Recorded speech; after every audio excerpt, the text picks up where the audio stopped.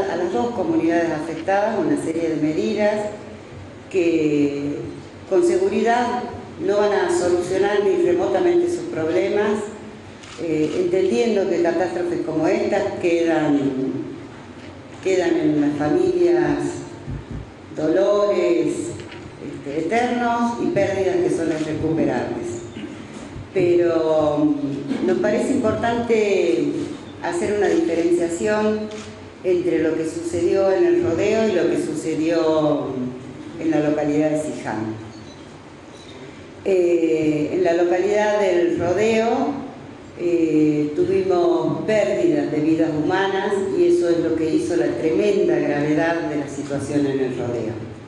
En la localidad de Siján, si bien solamente hubo una persona fallecida, lo cierto es que la catástrofe fue mayor desde el punto de vista físico, por decirlo de, alguna manera, y quedaron, en el último relevamiento que hicimos, 14 viviendas de gente residente del lugar totalmente destruidas, y cuando digo totalmente destruidas, este, no lo digo a medias, sino que en las primeras oportunidades que fuimos día viernes, el día sábado, nos decían que estaban las viviendas ahí, pero no se veían. Hoy pudimos observar resto de esas viviendas. Por lo tanto, en la localidad de Siján quedaron 14 familias sin techo y tres familias en esa misma zona que habían empezado a construir su vivienda hasta la altura de la losa. Eh, y además, eh, esta catástrofe afectó enormemente la fuente mm, de ingresos de esta población, ya que un gran porcentaje de los viñedos, y entendiendo que son economías familiares, estamos hablando de plantaciones de media hectárea, de una hectárea, de una hectárea y media, lo sumo, quedaron prácticamente tapadas hasta la altura de las ramas, este, los viñedos. Están con un metro, 70 centímetros, 80 centímetros de lodo. Em, también PAMI les va a otorgar en algunos casos un subsidio para ayudarlos a reconstruir parte de la vivienda. Este operativo lo va a organizar el ANSES, que va a estar a partir, mañana es a partir del día miércoles en la localidad de Siján haciendo el relevamiento correspondiente. Bueno, el Ministerio de Desarrollo Social de la provincia se va a hacer cargo de un subsidio de 1.800 pesos eh, que se le va a entregar a las 14 familias que perdieron definitivamente su vivienda en Siján. Quiero aclarar esto, eh, para estas 14 familias que va a ser imposible volver, a, ya, no está su vivienda,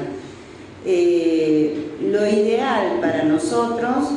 es que en vez de tenerlas a todas alojadas en una escuela, puedan conseguir un lugar donde vivir, que por las características que tenemos nosotros los catamarqueños y sobre todo en el interior, en general es la casa de un familiar a quien le ocasionamos gastos, a quien entonces este, este pequeño monto de dinero le va a servir para contribuir a la economía familiar de la casa donde estén alojados. Eh, disponer también por otro lado que Capreca otorgue préstamos este, con tasa subsidiada, o sea, son préstamos muy convenientes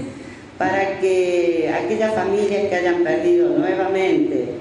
bienes como heladera, como camas, como, y que estén en condiciones de adquirirla, pero que por supuesto le significa una erogación este, grande si quiere comprar todo junto, puedan disponer de este préstamo, que son a tasas sumamente bajas, prácticamente un subsidio, para reponer estos elementos que han perdido. En síntesis, lo que estamos diciéndoles es que esas 14 viviendas, está acá el arquitecto eh, Nivelo, Germán Nivelo, de la Secretaría de Obras Públicas de la Nación, con quienes, que fue enviado a nuestra provincia a pedido del ministro, el ingeniero López, de nuestra presidenta, con quien vamos a firmar prontamente un convenio para construir esas 17 viviendas de Siján que han sido destruidas. Por otra parte, y una vez que terminemos con la limpieza de las viviendas que tienen barro en su interior y hagamos la evaluación de cuál es el daño y cuáles son las condiciones de habitabilidad que tienen, nos plantearemos cuál es eh, el mejoramiento de solución habitacional que debamos eh, realizar.